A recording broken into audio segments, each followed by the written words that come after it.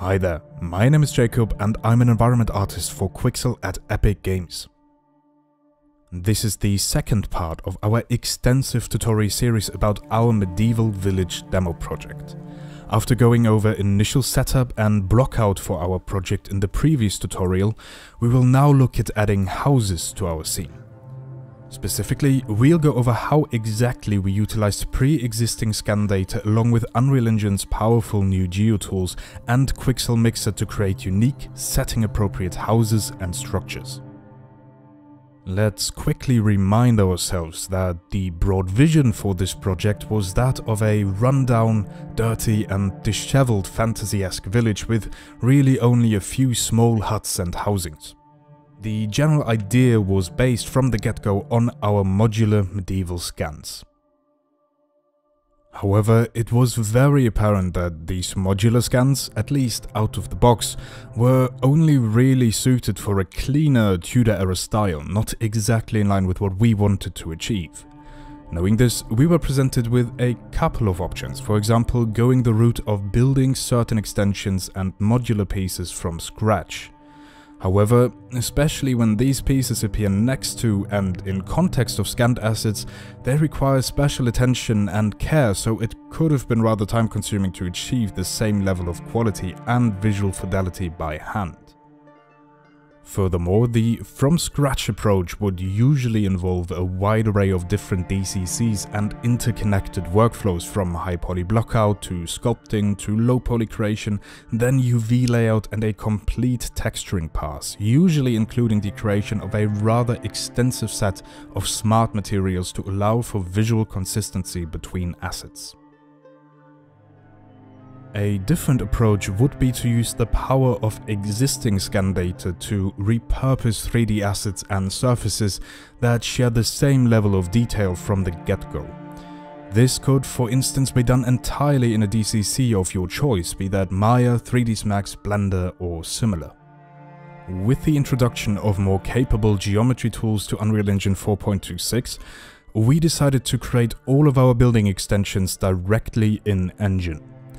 This, combined with the extensive Megascans library and ecosystem, can be an extremely powerful method for crafting unique and custom assets that fit perfectly into the visual style of pre-existing scan data, allowing you to adapt and expand the visual language of a project all without leaving the engine. All of the examples we've been showing here should give you a good idea of what exactly we were able to achieve with this approach. Our houses have been exclusively constructed directly in engine, only using Megascans assets available in our library such as wooden boards, branches and even just two-dimensional surface and atlas scans.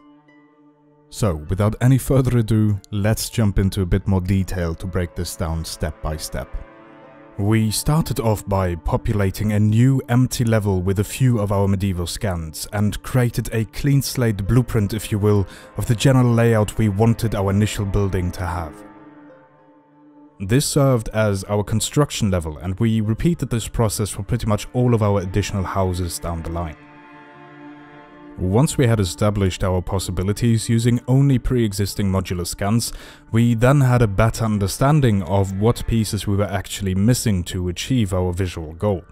For instance, we can now clearly see that using only our modular pieces, our houses lack interesting variance in positive silhouette. Everything is composed of right angle boxes and straight surfaces especially when breaking out of a rectangular base shape, connecting pieces with our stock scans can become a bit tricky.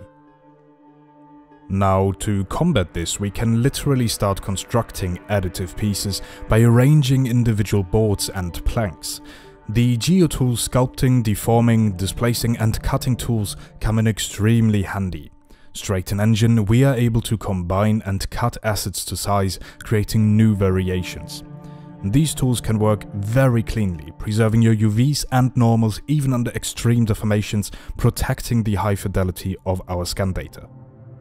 Not only are we able to stay in engine, we also gain the major benefit of having multiples of the same meshes sharing the same UVs and textures resulting in very high texel density without needing to rely on expensive 4K textures. Reusing the same base scans over and over again also means that we can reuse the same few texture sets.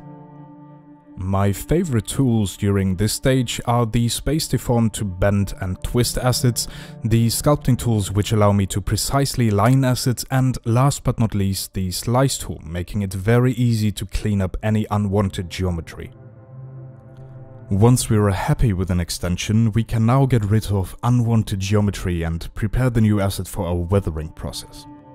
You know, when simply sticking together assets, one is often left with telltale signs of quote-unquote game visuals, so unnatural intersections where two assets were clearly just stuck together.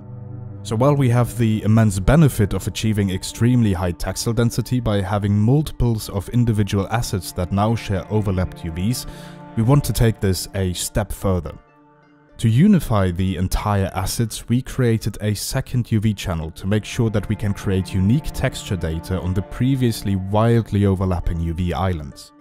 We decided to do this in a separate DCC, but with further progress around this toolset, I am sure that down the line it will be a good option to do this natively in Unreal Engine. Once we've established our unique UV data, we do a quick bake, giving us ambient occlusion, convexity, concavity and other directional maps. Using these maps, I created a mask smart material mixer allowing me to create unique RGB weathering masks for each asset, containing information for overall grime, wetness and moss or lichen growth.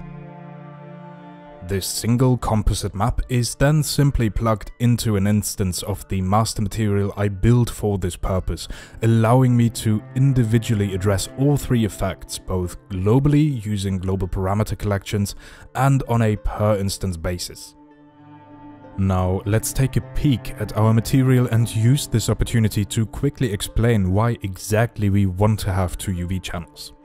While we apply all of our asset-specific texture data on the first UV channel, which has a bunch of overlapping UVs, the second UV channel where all previously overlapped UVs are laid out next to each other now allows us to create texture data that treats the combined objects as its own unique asset rather than a loose assembly of assets. This in turn allows us to add weathering masks unique to one assembly while still keeping all the benefits from using shared UVs for our main textures. A similar workflow is used for the existing scanned modular pieces for which I created another RGB smart mask in Mixer. When building your own masks, I'd encourage you to browse through the smart materials that ship with Quixel Mixer to get inspired by the different approaches taken for various weathering effects. After these steps we now have a unique and visually fitting extension to our modular pieces that perfectly suits our intended visual language. Following the same exact steps, we created a small set of semi-modular assets that pretty much allowed us to customize our existing building blocks to our liking with minimal interference from other DCCs. To make work a bit cleaner and not contaminate our main level with unnecessary files, I'll simply duplicate this construction level for each new house I'm building so that we are left with a list of unique standalone levels from which we'll be able to pull our assets. This workflow even allows you to create structures and buildings completely from scratch. Our forge or smithy, for example, is 100% constructed from pre-existing Megascans assets, all edited and combined directly in Unreal Engine to ensure that we are able to create an open and interesting building.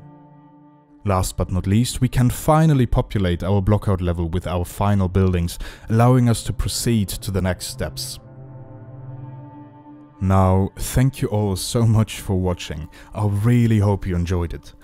We'll go on to cover how we tackled the roofs and small additional pieces for the houses in the next tutorials, so make sure to advance to the next part. You'll find all tutorials of this series listed in the description below. Also, please feel free to drop your questions or thoughts into the comments and, as always, I can't wait to see you in the next one.